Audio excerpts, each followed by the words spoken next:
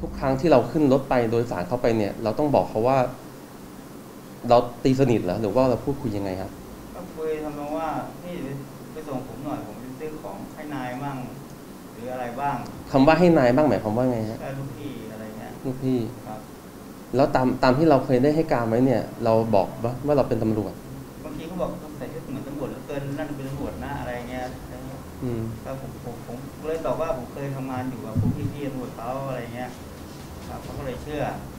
อ๋อเขาดูดูจากรูปลักษณ์เราการแต่งกายเนี่ยครับเราจะเหมือนตำรวจครับใช่ไหมครับเขาก็เลยคิดว่าเราอะน่าเป็นตำรวจครับ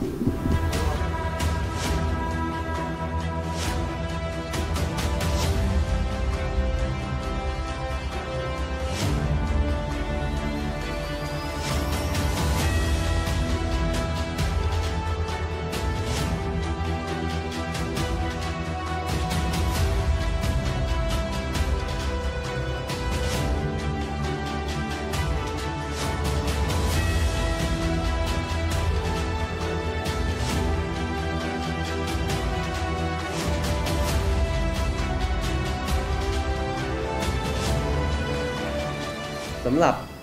ผู้ที่มีพฤติกรรมที่อ้างตัวเป็นเจ้าที่ตำรวจนะครับ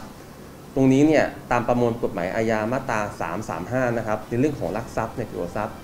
นะครับ อนุ 6 เนี่ยเขาแจ้งไว้เลยว่าลักทรัพย์โดยแสดงตนเป็นเจ้าพนักงานเนี่ยมีความผิดนะเพิ่มขึ้นอีกนะครับ เพราะตรงตรงนี้ตรงนี้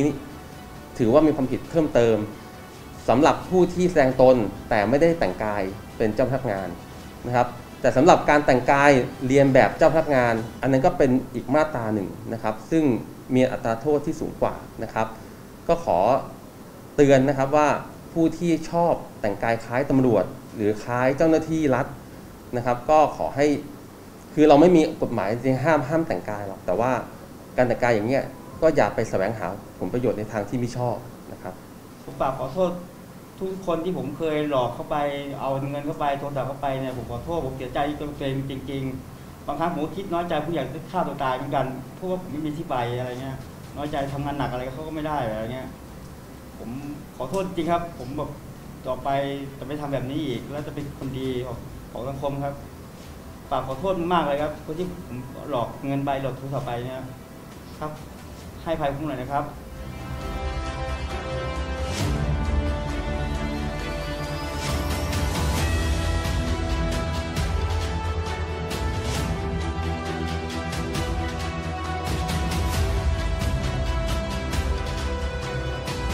การการที่มีคนแอบอ้างว่าเป็นตำรวจเนี่ยก็ต้องดูว่าการที่เขาแอบอ้างเนี่ยเขาใช้อำนาจหน้าที่ในการทำอะไรนะครับ ถ้าเขาพูดเฉยๆว่าเอ้ยผมเป็นตำรวจสอนอนี้สอนอนี้ โดยที่ยังไม่มีการริดรอนสิทธิของตัวเราเนี่ยเราก็คงไม่มีสิทธิ์ที่จะไปขอดูบัตรประจำตัวประชาชน หรือว่าขอดูบัตรข้าราชการของเขา แต่ตราบใดที่ถ้าเขาแสดงตัวเป็นเจ้าหน้าที่ตำรวจ แล้วมันริดรอนสิทธิหน้าที่ของเรา เช่น ขอตรวจค้น ขอดูนู่น ขอดูบัตรต่างๆไอ้ตรงนี้เนี่ยถือว่าเป็นการริดรอนสิทธิของเรา เพราะฉะนั้นเนี่ยเราสามารถที่จะขอดูบัตรประจำตัวของเจ้าที่คนนั้นๆได้ครับ